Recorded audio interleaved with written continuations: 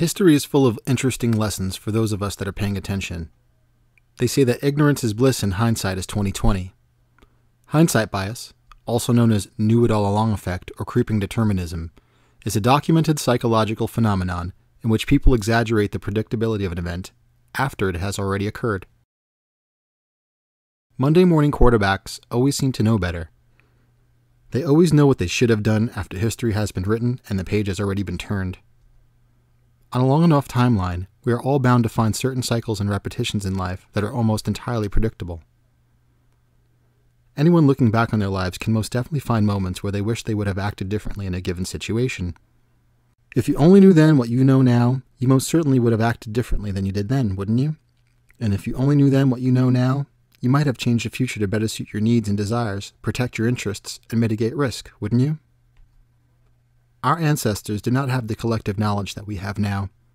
There were no smartphones with wireless hotspot internet. There were no gigantic knowledge databases compiled for their benefit. Things that were learned in the past were learned the hard way. Ideas, skills, tricks, lessons, tips, and technology didn't necessarily spread to more people than your immediate community. It could take years or decades or centuries for the necessary skills like farming techniques or forging steel, curing diseases, or anything worthwhile to spread to the rest of humanity. Our knowledge database was collectively small and short lived. This is the Jiaoce, the world's first paper currency. Around the 10th century AD in China during the Song dynasty, the first paper currency experiment ended with inflation and failure. Even though the Jiaoce was technically backed by gold, silver, and silk, conversion was actually never allowed. Yuan dynasty banknotes were also one of the earliest fiat currencies to exist and meet the same fate. Here is one of the printing plates used to make these notes. Other fiat paper currencies were tried in China and ultimately failed as well, following massive printing and hyperinflation. It was not until the Ming Dynasty that paper fiat currency was finally outlawed to prevent these situations from happening again. Today, all national currencies of the world use fiat. Fiat is a Latin word that means let it be done. In essence, it's just some man saying it so. It requires nothing but faith for fiat currency to exist. The moment people no longer believe in its worth, it fails to function any longer. It has no intrinsic value. Fugazi is a word that reminds me of fiat. It means fake, something that has no substance.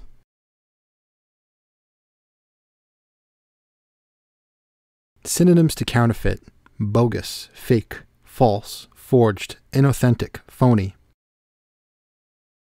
I fail to see the difference in meaning between fiat, fugazi, or counterfeit in these contexts. The only thing separating them is that people actually value fiat currency in mass until they do not. So, historically, what gave the pieces of paper our ancestors carried any actual value? Why would anybody want them? What gave them the value that separates them from today's fiat? Our money generally used to be backed by actual silver and gold. The paper was merely a receipt for that silver and gold. Instead of carrying heavy coins of gold and silver with you, these receipts were often exchanged in their place. This bill might look more familiar to you than some of the others. But there are some major differences.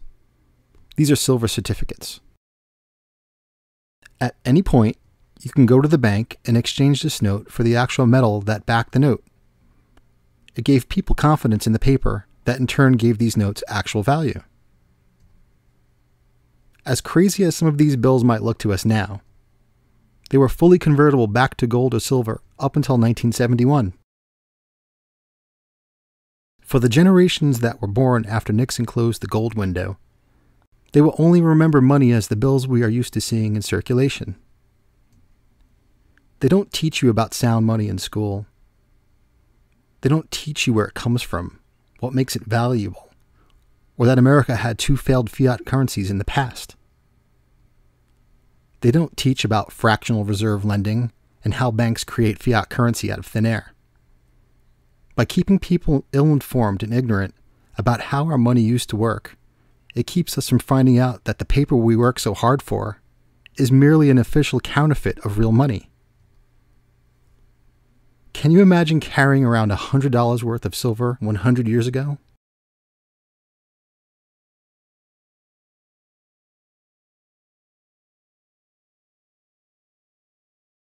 If this doesn't wake you up, then nothing will.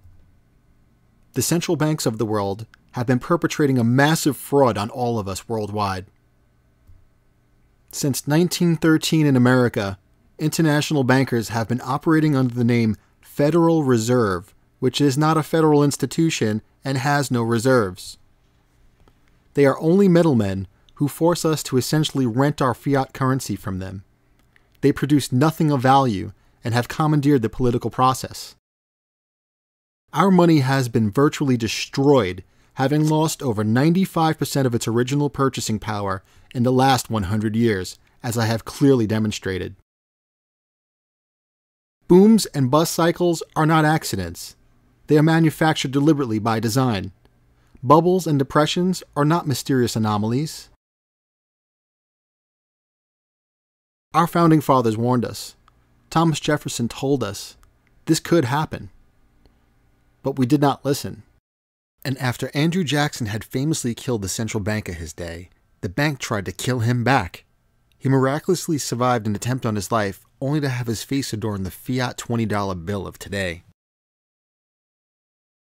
So these bankers have been fattening us up with debt and then shearing us of profit for a goddamn century and when they are unable to squeeze another dollar, siphon another drop of blood, or extract one more day of slavery out of us, it all implodes. These are the facts. This system will be 100 years old in 2013. We will celebrate 100 years of deceit, fraud, and manipulation. 100 fucking years. Fortunately, there is a flaw in this design all fiat currencies end with the destruction of the note, at which point we might free ourselves from debt slavery. Are you going to be ready for this mathematical certainty? It is coming to all corners of the world, because when the petrodollar, the reserve currency of the world, goes, it's going to take down all other fiat currencies with it.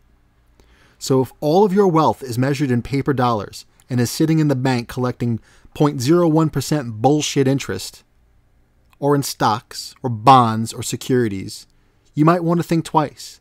Because when this system goes down, it's going down for good. It cannot and will not survive forever.